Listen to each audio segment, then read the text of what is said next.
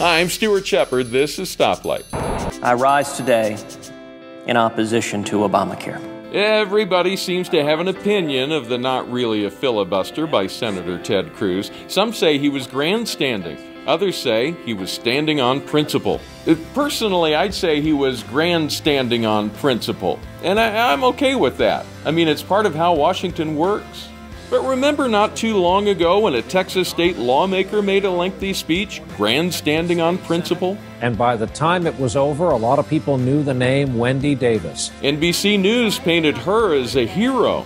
In an elegant white suit and comfy pink sneakers, a rising political star. But essentially, she was arguing that abortion clinics should be less safe than other surgical centers. After Cruz spoke all night on behalf of families, do you think NBC News called him a rising star? Is there anything real behind this political theater? Well, so far, no. I mean, it's just nothing but the world's longest TED Talk. Since I know you likely didn't stay up all night watching C SPAN, here's what the mainstream media wants you to remember about Cruz's big speech.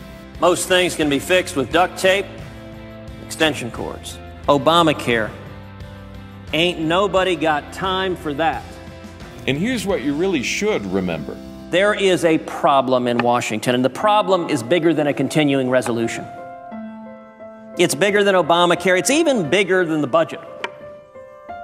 The most fundamental problem, the frustration, is that the men and women in Washington aren't listening.